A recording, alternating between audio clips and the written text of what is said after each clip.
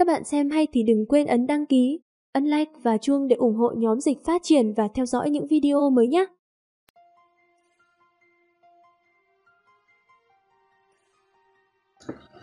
Trước đó đại đã nhận được tin tức, Vân Tông từ chối dùng hắc mộc niên trao đổi với Ma Thiên Các. Lúc này nhị sư huynh thêm dầu vào lửa, sẽ có hai kết quả. Một, Vân Tông có chó cùng rất dậu, cực kỳ tức giận, nổ ra mâu thuẫn với Ma Thiên Các.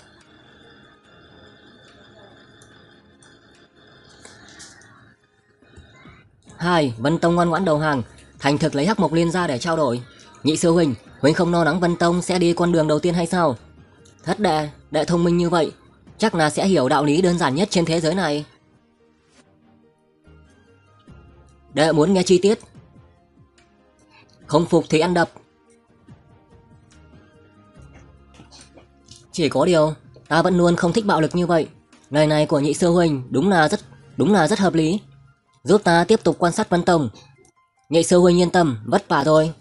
Sư huynh khách khí rồi. Chỉ mong tiểu sư muội giống như là nhị sư huynh đã nói, ngây thơ trong sáng, mới không phụ khổ tâm của hai vị sư huynh. Hôm sau, Ma Thiên Các. Làm thế nào để thương lượng với Vân Tông, lấy được hắc mộc niên đây? Bát đàn Vân Tông, cường giả như mây. Ma Thiên Các của bây giờ không bằng ngày xưa, nếu có đại đồ đệ và nhị đồ đệ, khiến hạ đại viêm này sẽ mọi việc đều thuận lợi, chỗ nào cũng ngắn, chỗ nào cũng không ngăn cản được họ. Bây giờ chỉ có thực lực của Hoa Vô Đạo là mạnh nhất, còn về Phạm Tu Văn đang trong quá trình hồi phục vết thương. Diệp Thiên Tâm cũng đang trong trạng thái tái tạo lại đan điền khí hải, thậm chí còn không tính là đệ tử của Ma Thiên Các.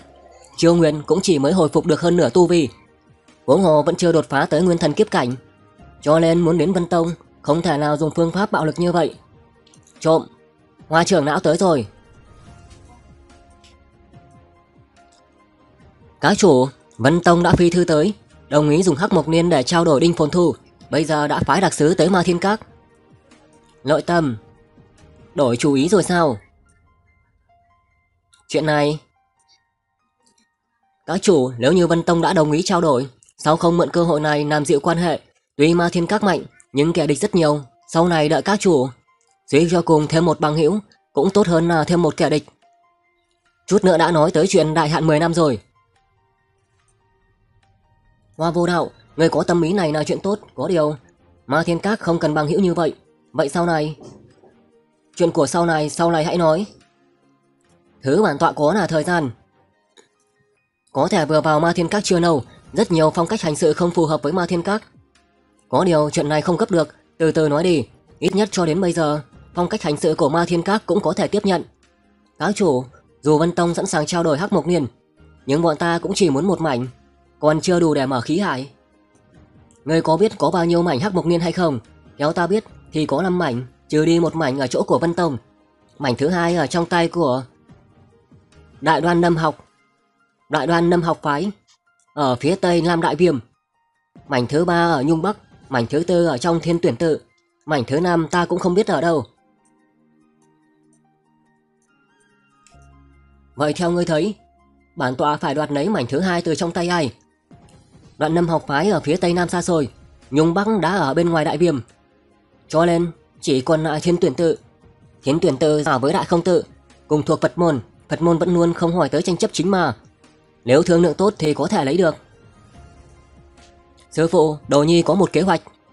Nói, Nạo Bát vẫn luôn giao hảo với thiên tuyển tự. Có thể cho lệnh có thể lệnh cho hắn tới đó đàm phán. Giao hảo trong mấy năm lão bắt rời khỏi ma thiên các vì tìm kiếm thủ đoạn giữ mạng, đã tốn không ít công phu ở trên dưới thiên tuyển tự.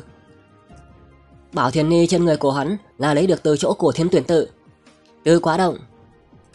Kêu hắn qua đây. Đồ nhi tuân lệnh. Gần một tháng trôi qua đã gầy đi nhiều. Phải trưởng, đẹp trai vậy.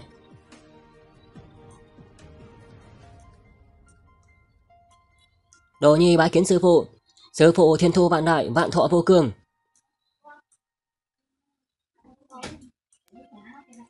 Bác sư huynh, ăn cơm chưa? Còn một cái còn một cái đầu nè. Cảm ơn tiểu sư muội, sự tồn tại của con heo này thật ra là để che lấp ánh sáng của bản thân ở nơi này.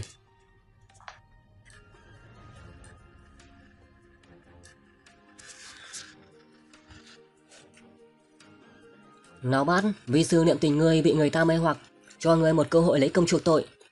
Đồ nhi sẵn sàng lấy công chuộc tội, lên núi đao xuống biển nửa Đao đâm cả hai bên, tuyệt đối sẽ không cau mày. Rất tốt. Vậy thì do ngươi tới thiên tuyển tự, đem hắc mộc niên trở về. Thiên tuyển tự, ngươi không đồng ý. Không không không, đồ nhi đồng ý. Đồ nhi nhất định là sẽ đem hắc mộc liên trở về. Vậy thì nhanh chóng xuất phát đi, dựa vào giao tình của đệ và họ không thành vấn đề. Tin tưởng sư huynh sẽ không hại đệ. Đi đi, ghi nhớ. Đã chỉ là đi thương lượng, bất cứ lúc nào cũng phải phi thư về. Xuất phát ngay đây. Đặc sứ của Vân Tông khi nào tới? Còn cần khoảng 3 canh giờ. Tuy không tình nguyện tới thiên tuyển tự, nhưng mà sư lệnh khó trái không thể nào không theo. Hơn nữa đây là cơ hội tuyệt vời để lấy công chuộc tội. Phải thương lượng với thiên tuyển tự thế nào đây? Bát, bát tiên sinh. Ai? Là ta, Phan Trọng. Đừng chọc ta, chuyện lần trước ta còn chưa tính nợ với ngươi đâu. Đừng đừng đừng, bát tiên sinh. Đại nhân đại nhượng đại nhân đại lượng không chấp kẻ tiểu nhân. Ta vừa nhìn là đã biết bát tiên sinh không giống với người khác. Sao có thể vì một hai câu nói mà để tâm chứ? Bớt tăng bốc đi, ta không ăn cái thứ này. Bát tiên sinh, thật nào ăn uổng. Nếu nói thật cũng quay là tăng bốc, vậy sau này ta gặp người sẽ nói dối thế. Ta gặp người sẽ nói dối nhé. Này này còn nghe được, nói đi có chuyện gì? Tớ tiên sinh nói rồi, ngài ấy sẽ giúp ngài nói vài câu tốt đẹp trước mặt của các chủ. Ngài chỉ cần tới ngài chỉ cần tới thiên tuyển tự, phía ma thiên các. Tớ tiên sinh sẽ giúp ngài. Đó là đương nhiên. Đừng cản đường, đừng cho rằng nói một hai câu. Nói một hai câu dễ nghe là ta sẽ tha cho người. Vâng vâng. Nghĩ tới lúc đầu khi ta còn tu hành ở ma thiên các, làm gì có phần của các người.